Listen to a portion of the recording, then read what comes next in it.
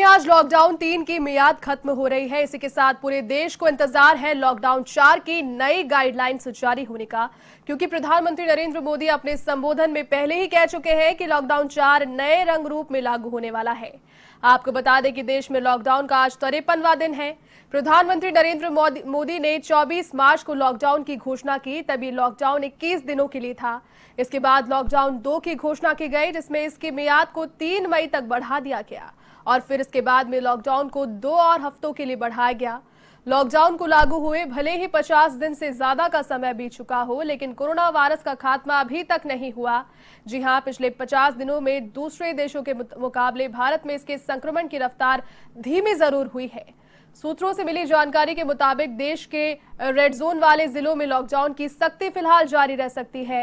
ये देश के वो ज़िले हैं जहाँ कोरोना ने पिछले दिनों सबसे ज़्यादा तबाही मचाई और जहाँ आज भी कोरोना वायरस का संक्रमण तेज़ी से फैल रहा है। रिपोर्ट्स की माने तो गुजरात के अहमदाबाद बड़ोदरा और सूरत में भी सख्त लॉकडाउन जारी रहेगा। इसके अलावा तमिलनाडु मध्य प्रदेश राजस्थान, यूपी और पंजाब के कुछ जिलों में लॉकडाउन में सख्ती की संभावना अभी बताई जा रही है।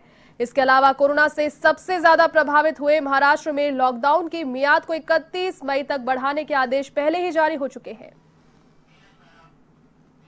और इसी खबर पर अधिक बातचीत करने के लिए वरिष्ठ पत्रकार नीरज मेहरा जी मेरे साथ में फ़ोन लाइन पर जुड़ चुके हैं। नीरज जी लॉकडाउन तीन की जो मियाद है आज खत्म होने वाली है। देश को इंतज़ार है लॉकडाउन चार की नई गाइडलाइंस का। आ, क्या कहेंगे आप इसके बारे में? देखिए जैसे बिल्कुल लॉकडाउन चार के नियम कायदे क्या होंगे पीएम अपने संबोधन में पहले ही बता चुके हैं कि लॉकडाउन फोर जो है बिल्कुल नए रंग रूप में होगा।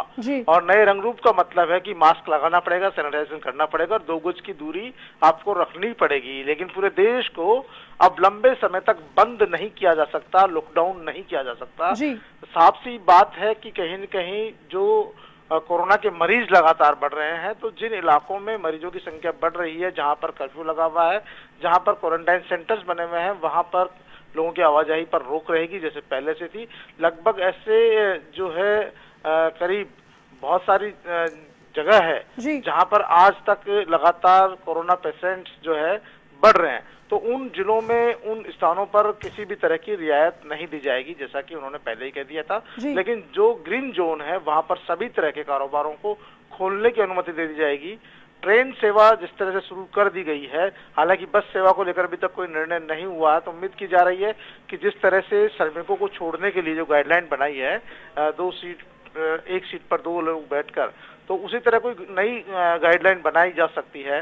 फैक्ट्रीज में काम शुरू हो गया है तो और जैसे सरकारी कार्यालयों में भी तैतीस फ़ीसदी स्टाफ के साथ काम शुरू हो चुका है तो ऐसी कई रियायतें मिलने की उम्मीद की जा रही है क्योंकि जो बाजारों में क्योंकि जो अधिक उत्तर राज्य हैं उन्होंने भी अपने अपने हिसाब से काम शुरू कर दिया है। हालाँकि पंजाब में 30 मई तक कर्फ्यू रहेगा। इसी तरह कई कई प्रदेश ऐसे हैं जहाँ पर बहुत ज़्यादा स्थिति खराब है लेकिन खराब होने की उम्मीद है उनको। लग रहा है कि यदि हमने प्रवासियों को आ, अपने राज्य में प्रवेश दे दिया तो हो सकता है स्थिति बिगड़ जाए।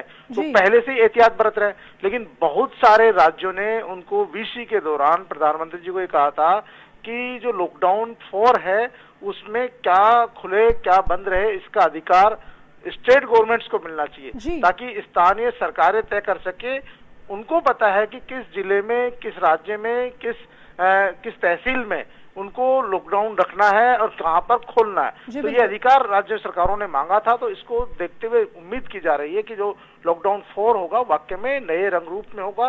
लोगों को कोरोना के साथ ही जीना होगा कोरोना के साथ ही आगे बढ़ना होगा और कोरोना को मात देनी होगी। जय दी बिल्कुल बिल्कुल। तमाम जानकारी के लिए और हमारे साथ जुड़ने के लिए बहुत शुक्रिया नीरज जी।